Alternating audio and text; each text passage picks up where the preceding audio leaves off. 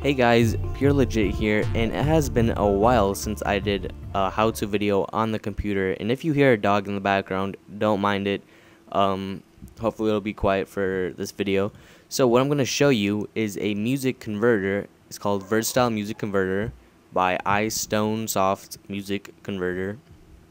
Um, so as far as I know, it's only on Windows 8. I don't know if there is a version um, for Mac, but as far as I know, for Windows 8, free download here. Um, that's all you have to do is download it. I'm pretty sure you can install it yourself. Uh, the link will be in the description if you don't know how to do that. But for this video, I'm mainly just going to show you how to use it. So here's the software right here, and um, you can't actually click and drag. I've tried it. So right here, we're going to click it and drag. For some reason, it does not work for the dragging, whatever all you have to do is come here to browse. Actually, that you don't do that. That's for your output folder. Um, might get to that later. But all you have to do is come up to add, and it already come up I already came up to my SD card. So this one right here is an MPGA file, which I don't I don't have anything, and I want to convert it to MP3. You just hit open. It'll be right here since I already have it. Um, we'll do that. Okay. So what you want to do is hit start, but before that you could actually come into the profile to uh, change it. I don't know what it's set to, but might be set to a video or whatever. You can even do audio, video, um, it has iPod, all these other stuff here. I'm not going to go through everything. But for common audio, I would do MP3 for mostly everything unless you have a different preference. That's up to you.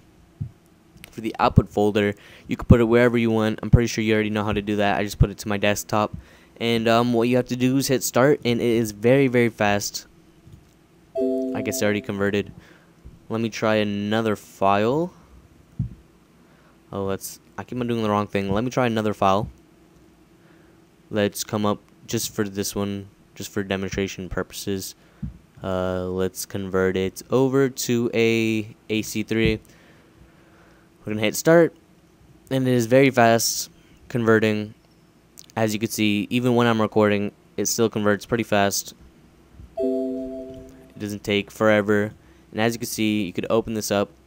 Of course, I don't think I have anything to open it up. I'll see. No, I don't. Okay, so let me open up something else I've converted. See this right here? This one was an MP4 or MPGA. And I converted that to MP3. And as you can see, it will work. I'm pretty sure you can hear it. Okay. Wow. For some reason does not want to work. Let's open this one up. What we gotta do right here is go back. Back in the time. So as you can see, it does work. I'm not going to play the whole song. I'm pretty sure you guys know that song. Anyways, that is the free music converter. I'm pretty sure you don't have to do anything else. It's just free. I don't, I don't know if it's a trial version or anything. It's free as far as I know.